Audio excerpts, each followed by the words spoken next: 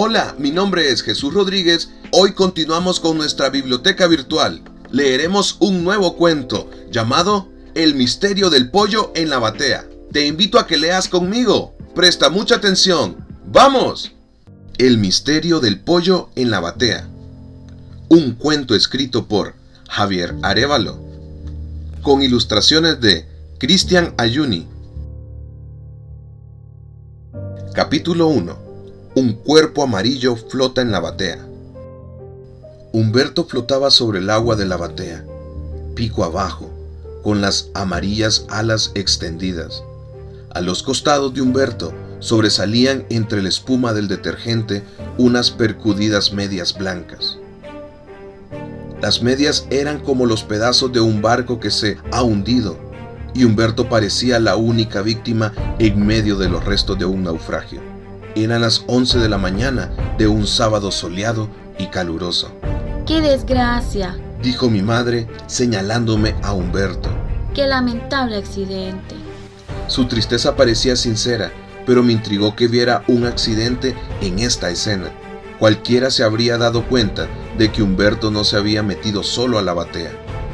Humberto era un pollito de una semana, pequeño, redondo, amarillo.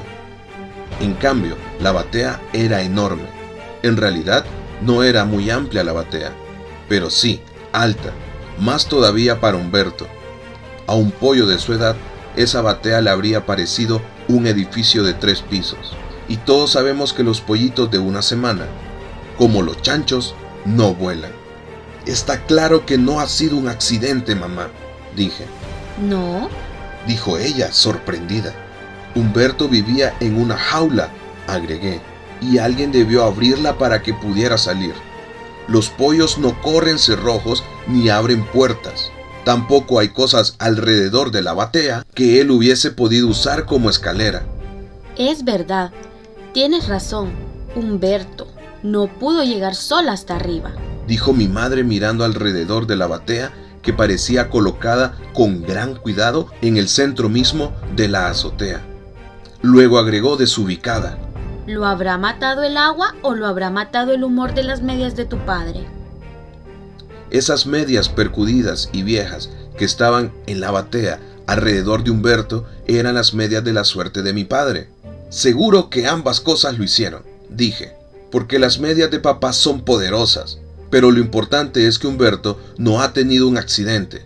Es claro que Humberto ha sido asesinado.